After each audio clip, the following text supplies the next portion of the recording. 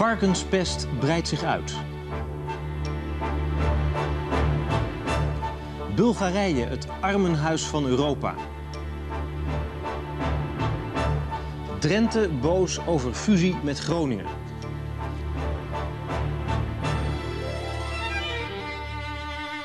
Verder met Nova over verontruste boeren, burgers en buitenlui. En dan naar Drenthe. Daar dreigt opstand. Want als het aan de paarse regeringsfracties ligt... dan moet de leegste provincie van ons land zo snel mogelijk fuseren met noorderbuur Groningen. De belangrijkste reden is dat de stad Groningen zich niet verder kan uitbreiden in zuidelijke richting. Omdat op een steenworp afstand van de Martini-toren Drenthe al begint. De provinciegrens moet dus verdwijnen en Gronddrenthe of Drentingen moet worden opgericht. Groningers laat dat helemaal onverschillig, maar de Drentenaren die weigeren zich te schikken naar de wensen van, zoals ze zelf zeggen, de arrogante hoedendragers uit het noorden.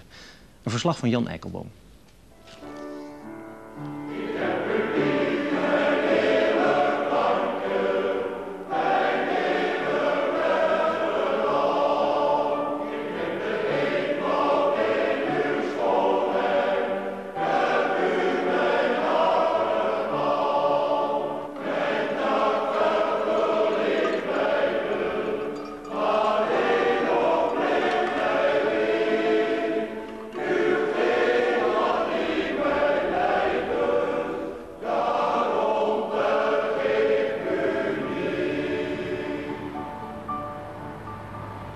Nou willen ze Groningen en Drenthe met elkaar laten fuseren.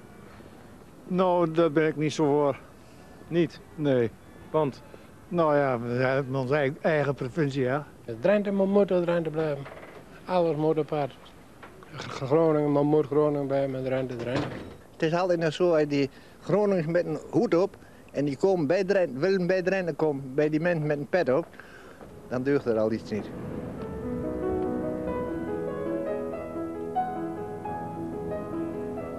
Ze moeten er in Drenthe niets van hebben. Een fusie met Groningen. In Den Haag opnieuw op de politieke agenda. Drenthe immers heeft na de gemeentelijke herindeling nog maar 11 gemeenten... met in totaal zo'n 450.000 inwoners. Minder dan Rotterdam-Zuid. Een samengaan met Groningen ligt voor de hand, vinden ze in Den Haag. Ik zou daar op zich voorstander van zijn. Ik vind ook dat de regering dat moet gaan onderzoeken. En wel om de reden dat er een grote mate van verwevenheid is. Met name tussen Noord-Drenthe en de stad Groningen en de omgeving. En ik vind dat er goed naar gekeken moet worden... of ook toekomstige ontwikkelingen beter aangestuurd kunnen worden door één provinciaal bestuur.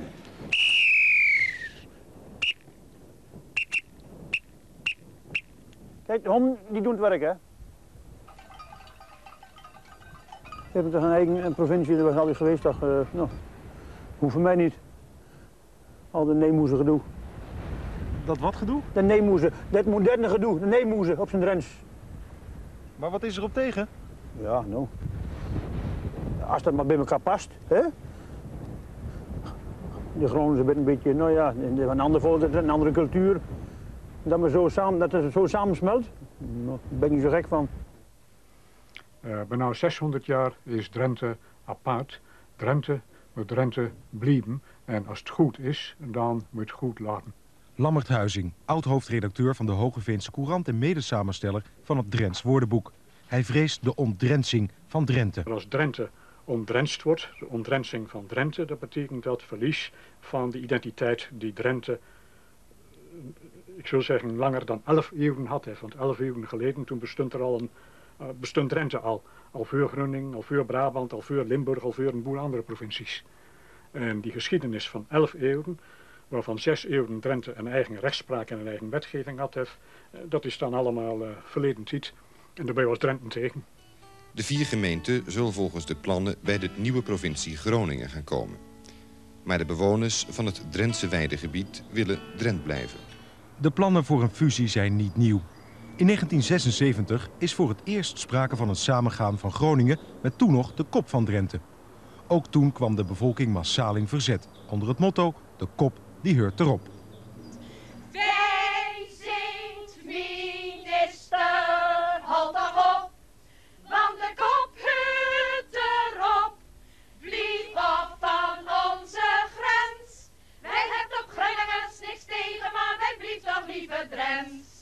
Dat de kop van Drenthe bij Groningen zal komen.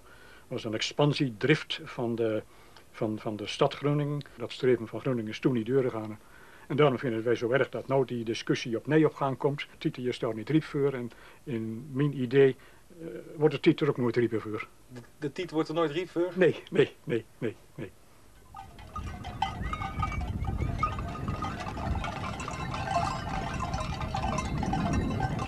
Kom hier, nee, kom. Terug, hier, en kom, kom. Ja, neem mee. Neem mee.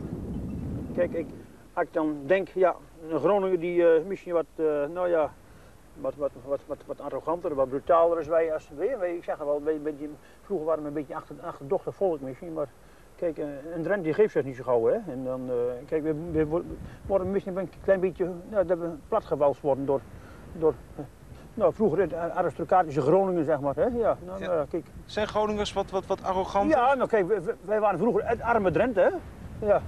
Nou, ik zeg niet nou, nou, nou rijk zijn, maar, maar kijk, ja, toen werden we ook een beetje, ja. En u bent bang dat dat opnieuw gaat? Uh... Ja, ja, ja. Misschien wel een verkeerde uh, inschatting van mij, maar zo, zo denk ik het toch over. Ja. Eerlijk, ja. Goed, mijn heren, wij gaan verder met het Gronings volkslied, het Gronings Light.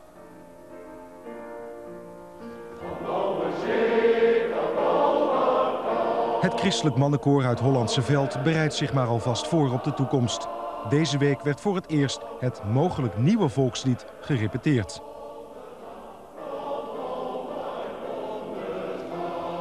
Goed, mijn heren.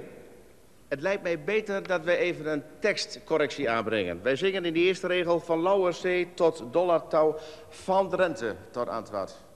Maar gezien de huidige ontwikkelingen lijkt me beter dat we zingen met Drenthe tot Antwerp. Ik, ik heb wel het idee als er straks actie gevoerd giet worden, dat er dan een heleboel Drenten wel uh, min of meer in opstand komt. Dat het dan nog wel eens hier toe kan gaan. Denkt u dat? Ja, ja, ja. ja. Zijn de Drenten uh, ja, van die raddraaiers? Ze bent geen raddraaier, ze komt op voor de rechten. Dat is in het verleden ook wel gebeurd. Ik denk aan de, aan de beroemde slag bij Ane in de middeleeuwen 1227. Toen ze de bisschop van Utrecht verslaan heeft, die uh, het ook in Drenthe voor het zeggen wil hebben.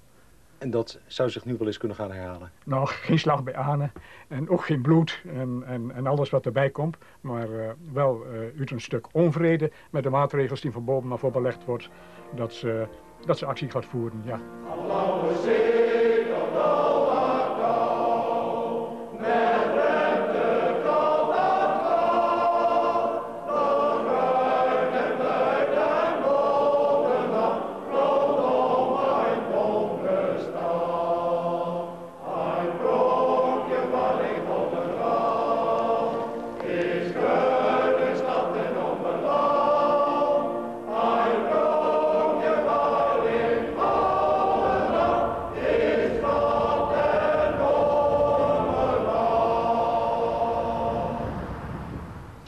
Gedeputeerde Staten van Drenthe hebben zich inmiddels uitgesproken tegen de fusieplannen.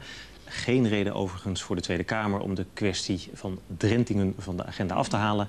Integendeel, in maart weten wij meer.